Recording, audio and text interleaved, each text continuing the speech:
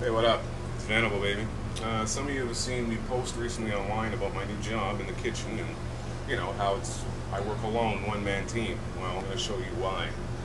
Uh, starting off, we are in the dish pit area. This is my big double sink.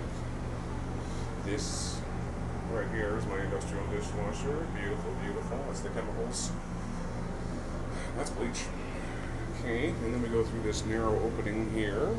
Boom. This right here where we keep the wings. Nothing but wings in there. Full of motherfucking wings. Now I'm going to show you the kitchen.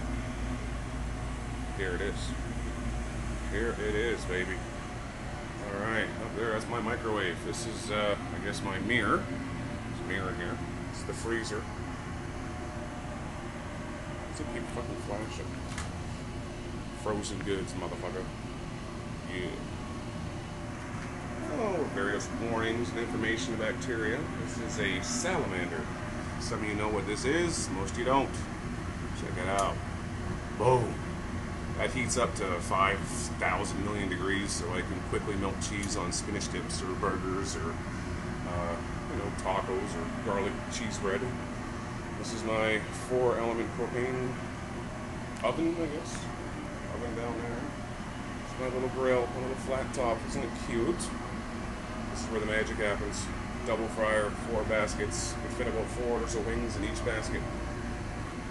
This over here is my cold line. Not much going on here. This is regular shit.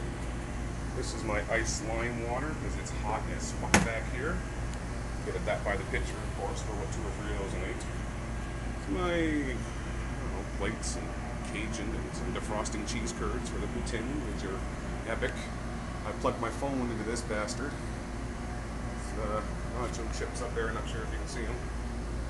And this is the ordering system. This is the printer that doesn't work. But this is what we do.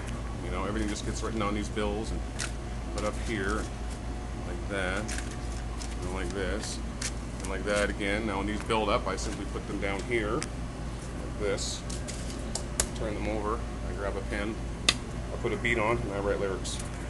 Oh, more cold storage down there. And that's it. This is, a, you know, spice rack here, and some utensils and some to-go things. And that's it. This is a 15 by 15 area.